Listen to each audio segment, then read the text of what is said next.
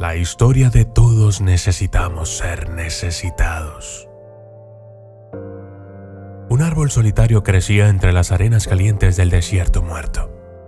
Las arenas espinosas cubrían el bosque.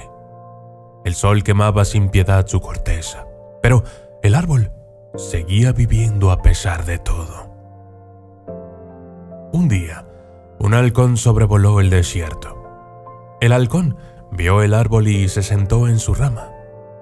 Miró alrededor del desierto y dijo, Eres un árbol extraño. ¿Por qué sigues viviendo entre estas arenas calientes y muertas? ¿Quién lo necesita? Lo necesitas tú, respondió el árbol. ¿Yo? Se sorprendió el halcón.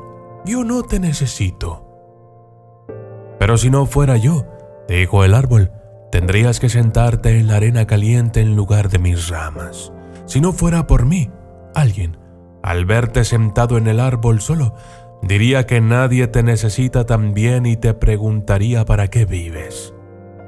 Sentado en mis ramas, tú, halcón, crees que te necesito. El halcón lo pensó y tuvo que dar la razón al árbol.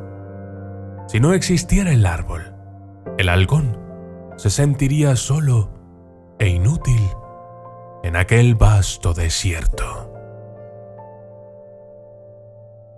Del mismo modo, nosotros necesitamos de los demás porque somos seres sociales y vivimos en sociedad.